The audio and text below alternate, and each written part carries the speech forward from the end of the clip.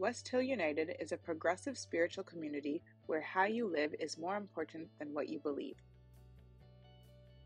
West Hill United is a people, a place, an idea. We are a community living out of a progressive faith, striving to make a positive difference in our own lives, the lives of others, and the world. Join us Sundays at 10:30 a.m. or connect with us at any time.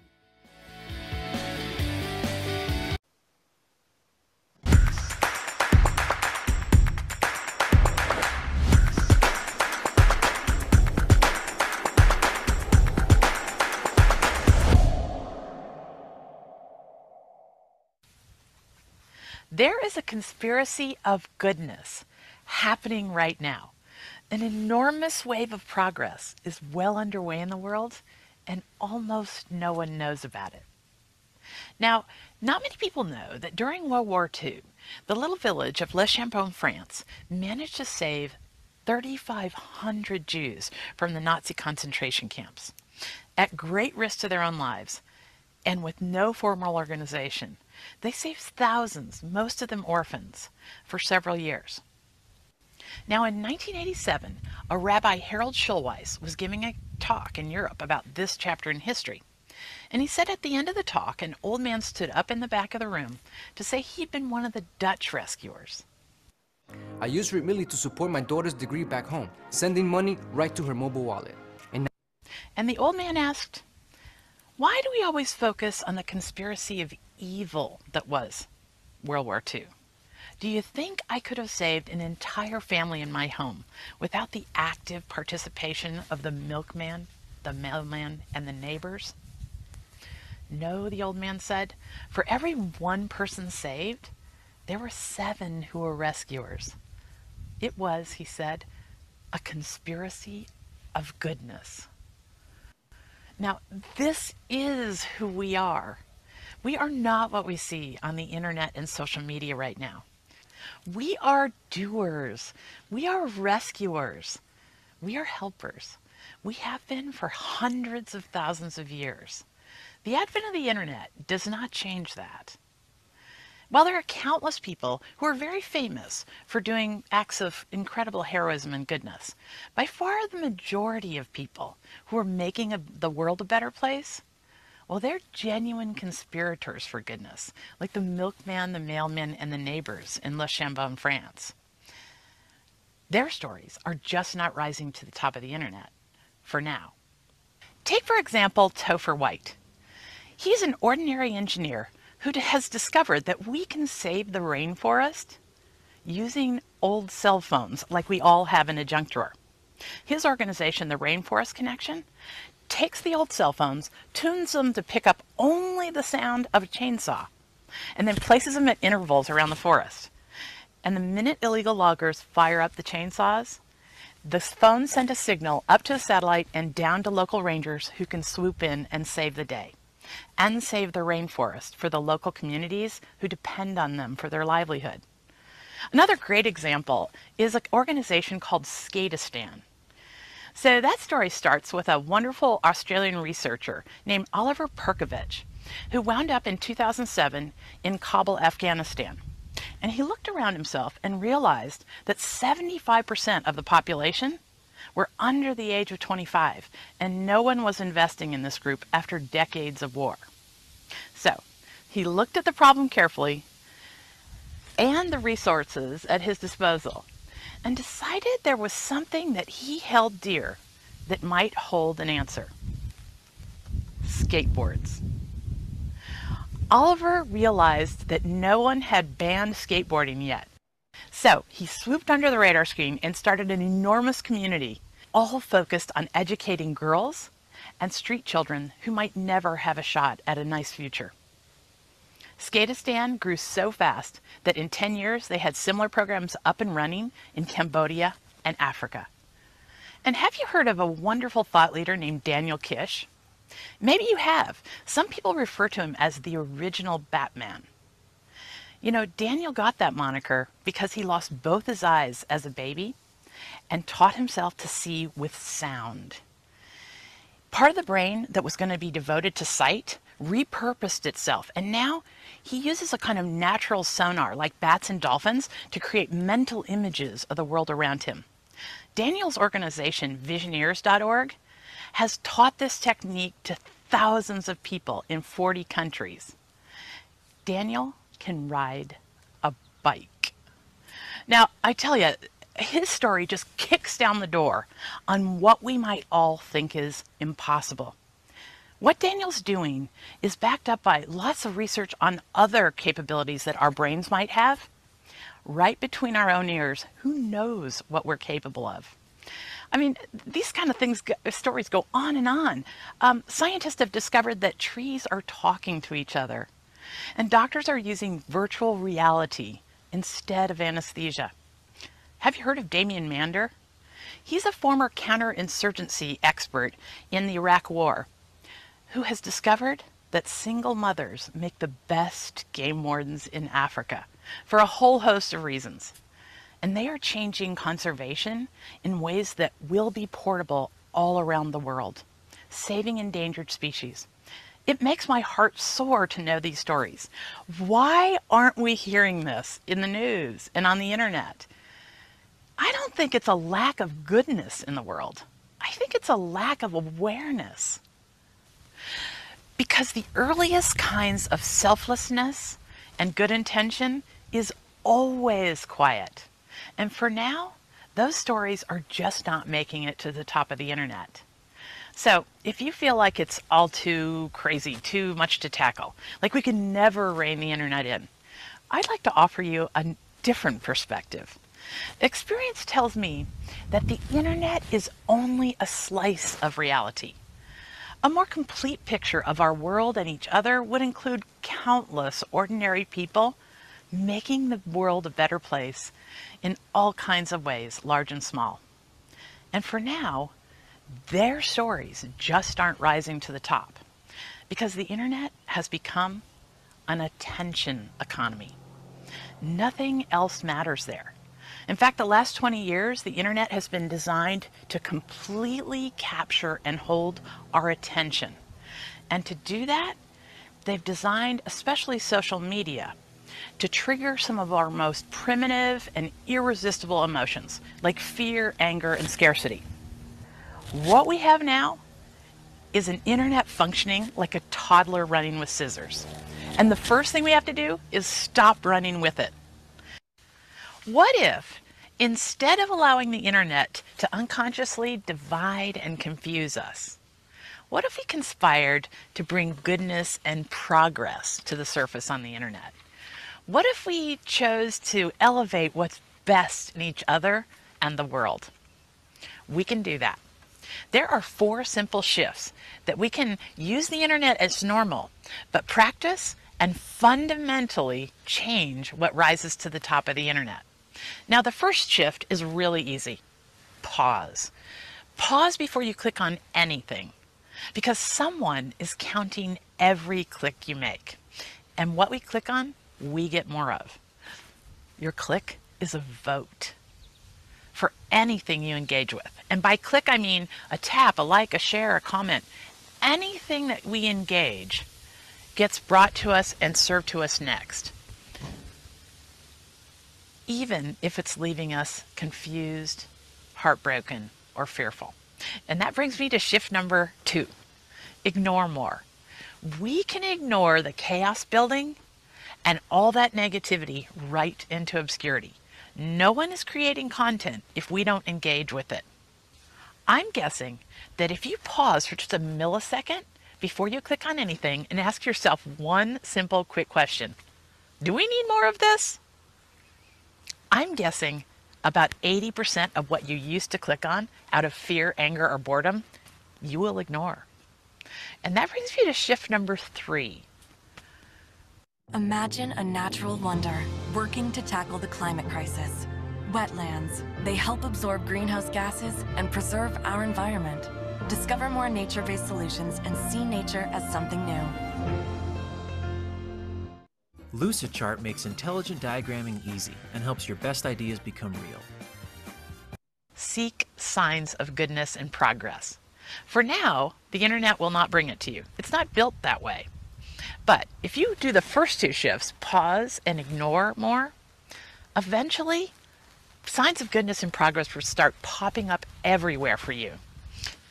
And that brings me to the fourth shift share signs of goodness and progress. Content creators are paying very close attention to what we share, and the internet is now built to amplify that. We can use that to open a new era. We have all the power to bend the internet in the direction of positivity. Over and over again, the opening of a new era happens when a new way of thinking takes hold and starts gaining conspirators, and a new way of doing things starts building momentum of goodwill that becomes unstoppable. A conspiracy of goodness is a pattern throughout history just before the next major leap in progress. Think about it for a minute. We humans have a habit of adopting some really primitive practices that eventually collapse of their own weight. Think about things like gladiators fighting to the death in the Colosseum, slavery, child labor, uh, not allowing women the right to vote. All those practices made perfect sense to many until one day they didn't. And this is the way social change happens quietly at first, when one by one we take matters into our own hands, turn it against things that seem like madness and offend us at our core. I think we're at just one of those tipping points right now with the craziness in our online lives. We have got to stop the noise, the negativity, and the division. And we can get there. We can rethink the role of the internet and make one of those leaps in progress. We can conspire against the chaos builders and the noise.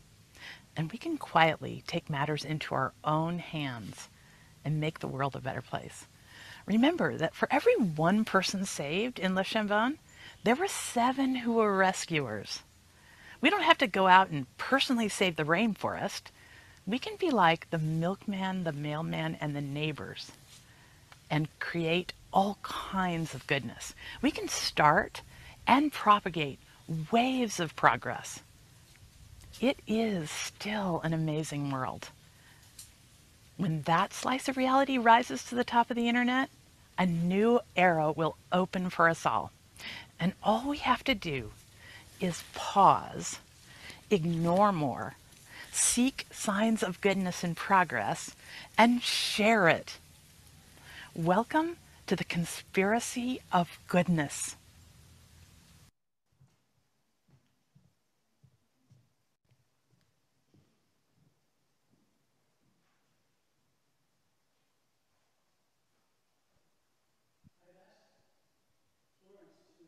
Join the conspiracy of goodness with the readings now instead of before. Um, and I've just collected really pithy statements by people, you, the names of whom you will know, that have, that have urged us to share the goodness.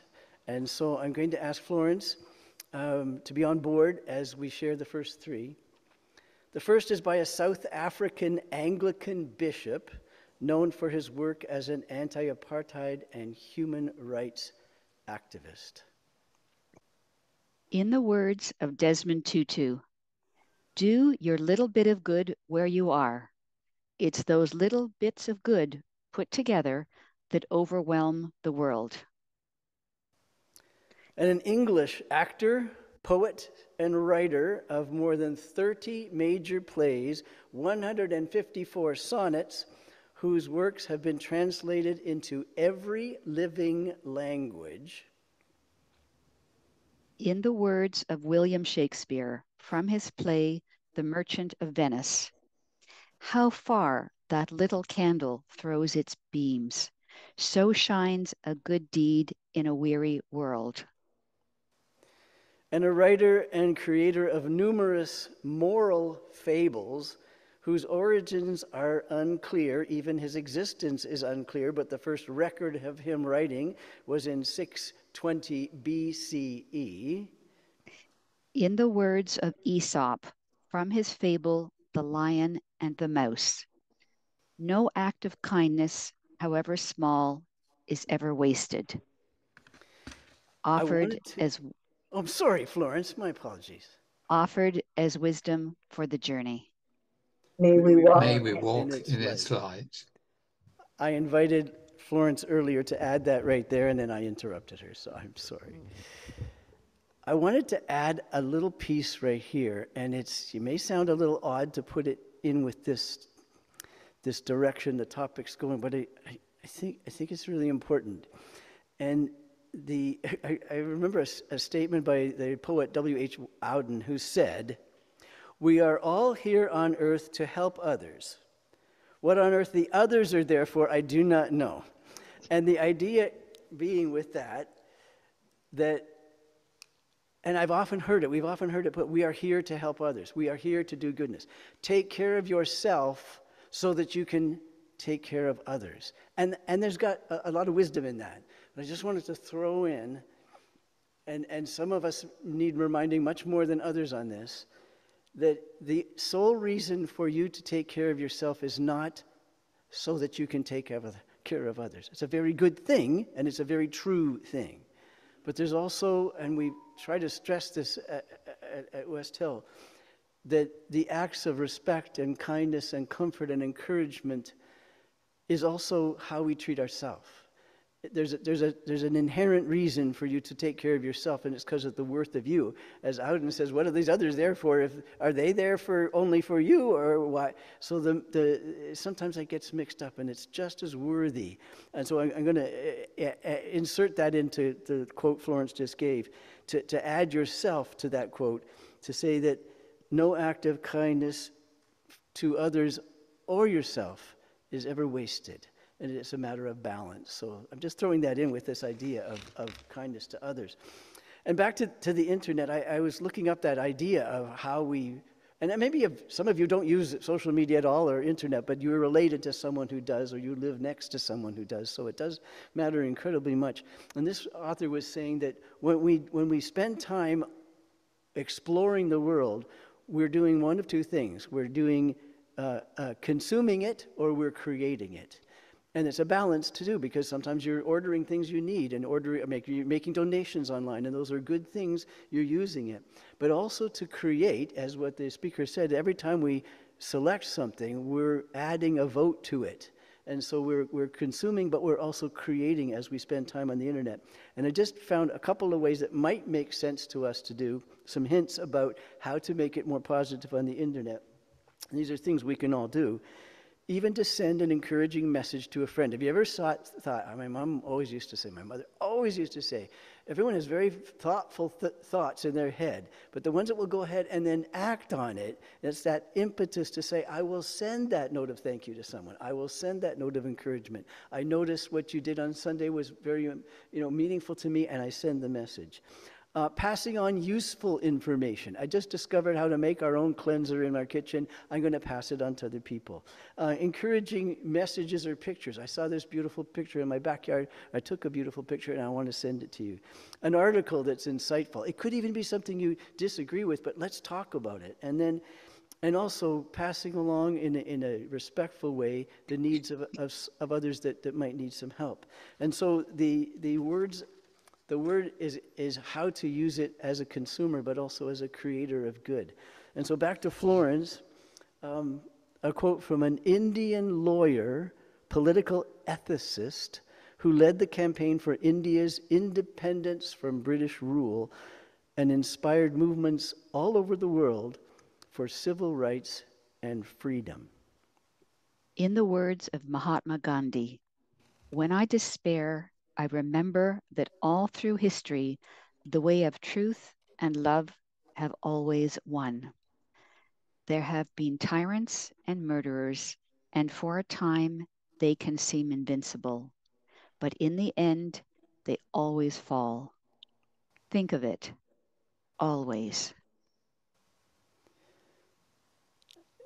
A, a person who had every right to comment on this situation. Um, and whether the bad guys or the tyrants or the oppressors or the discriminators appear to be winning, and they, they make many wins and they hurt many people. Uh, but they too come to an end, and all the efforts against their work um, can contribute to that. Some of you have heard of or read of the works of Robert Ingersoll. He's one of my heroes. He's an American lawyer. He was an American lawyer. I mean, he was always an American lawyer, but he's not with us anymore. He was born in 1833, so he couldn't, no matter how many great great great grandchildren he has. An American lawyer, writer, and orator, a speech maker. He was a speech maker in an era with no microphones, and so he had packed thousands into the halls of, of American cities and spoke with a voice that commanded respect and, and, and engagement. Um, and he, he lived what's called during the golden age of free thought, People were just breaking away to say, I'd like to think this through for myself and come up with my own conclusions. He lectured on civil rights, on religion, on Shakespeare, on Voltaire, on Abraham Lincoln, on Walt Whitman, who was a friend of his, who said, It should not be surprising that I'm drawn to Ingersoll. He lives, embodies the individuality, the kindness, the warmth that I preach. I see in Bob Ingersoll the noblest specimen, pure out of the soil, spreading, giving, and demanding light. He also angered just about every churchgoer in the land at the time. He spoke out against, against dogma that was thrust upon people with no choice, and he asked people to think. Um, I have his lectures at home. Uh, one is this called The Gods, and another is called Why I Am an Agnostic, and they are fascinating reading. I just ordered because I lost my version, my, my edition of Some Mistakes of Moses. And I, I encourage you to, to enjoy re- reading that as well. There are a few um, mistakes of Moses, put very respectfully and well. But the reason, the reason I even bring his name to light here is not how good he was at what he did, not how clever he was, very witty, very brave, not, not that. But if you recall in 1925, well, I mean, not personally, but that in 1925, uh, there was a trial that popularly called, was called the monkey Scopes trial. And that was about evolution taught in schools. And It was a, quite a controversy. And the lawyer that was involved with that is named Clarence Darrow, and he was also a friend of Ingersoll. And this is what he said that, that, that, that uh, emphasizes the theme of it wasn't how clever or how skilled, it was who he was that mattered, the positiveness of who he was. And this is what Clarence Darrow said Robert Ingersoll was a great man, a wonderful intellect, a great soul of matchless courage, one of the great men of the earth. And, what, and yet, we have no right to bow down to his memory simply because he was great. Great orators, great soldiers, great lawyers often use their gifts for a most unholy cause. We need to pay tribute of love and respect to Ingersoll because he used his matchless power for the good of everyone. And that's that idea. What did he do with his skills? He used them for good. And I'm going to ask Florence to give us one more, uh, another voice of goodness and this one is from the English anthropologist, primatologist. You have to look that one up. Primatologist, conservationist, and animal welfare activist who was named a United Nations Messenger of Peace. In the words of Jane Goodall, it is these undeniable qualities of human love and compassion and self sacrifice that give me hope for the future. We are indeed often cruel and evil. Nobody can deny this. We gang up on each one another. We torture each other with words as well as deeds. We fight, we kill. But we are also capable of the most noble, generous, and heroic behavior. So it's the balance. And, and the, the speaker on the TED Talk was very Uh, was urging us to, to focus on the positive. it's important to add that it doesn't mean we don't pay attention to what's wrong and what's hurting and the people that are, that are being affected by these movements because we, we want to be informed and we want to know that we are angry at things we hear about how people are treating people. It's, it's right to be angry. The, the old fashioned phrase was righteous indignation. We just often use it for something that might not be that righteous, but righteous indignation really says this act, this act of oppression or, or, or, or, or discrimination or actual violence is worthy of anger. It's worthy of my angry response, which then should be turned into something productive and good and positive. So it's that balance. Um, and I, I, I, I, I want to urge the balance. And so I was looking uh, at, at, at the internet again, and I found a video, it's just a couple of minutes, and it is a, a balance of what's, what's needing help and, an, and a positive encouragement to bring that help. It is, uh, was just done on September 15th by a project called Projecting Change. And I'll just read this to you. Projecting Change organization and partners launched the first drone show of its kind with 1,000 drones. I, if you're familiar, the drone is the camera that will fly around up, up in the air and, and take pictures. 1,000 drones lighting up the New York City sky above the United Nations, which is focusing on climate change, building with a series of shows designed to inspire, educate, unify, and activate our local and global collective around the climate crisis. So you see that balance in there the actual need and also the positive, protecting the Amazon and other important environmental campaigns and it coincided with the 78th United Nations General Assembly and the focus on climate change.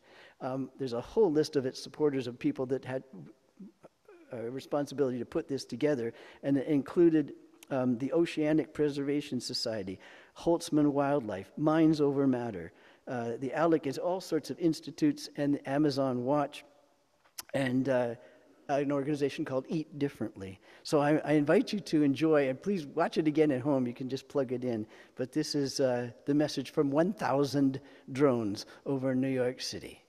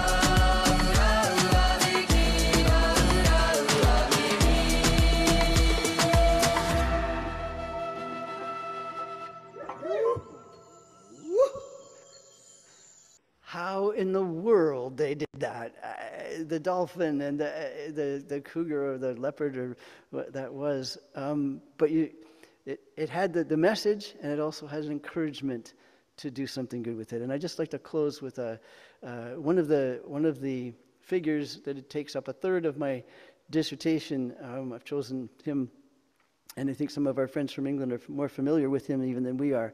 Uh, a former bishop uh, named Richard Holloway, very distinguished intelligent, well read, poetically minded former bishop who volunteered to leave the ministry over the issues that the church he felt was not dealing with with, in, with respect for difference, with respect for need. And so he's another hero. And he wrote a book called, uh, about us, about all of us, called Between the Monster and the Saint. Between the Monster and the Saint by Richard Holloway. And I just end with this his words. It is a harsh world, indescribably cruel. It is a gentle world, unbelievably beautiful. It is a world that can make us bitter, hateful, rabid destroyers of joy. It is a world that can draw forth tenderness from us. As we lean towards one another over broken gates, as we lean towards one another over broken gates, it is a world of monsters and saints, a mutilated world, but it is the only one we've been given. We should let it shock us, not into hatred or anxiety, but into unconditional love. We should let it shock us, not into hatred or anxiety, but into unconditional love. Become a sustaining champion of West Hill United's work by committing to an automatic monthly donation. Learn more or donate now through Canada Helps.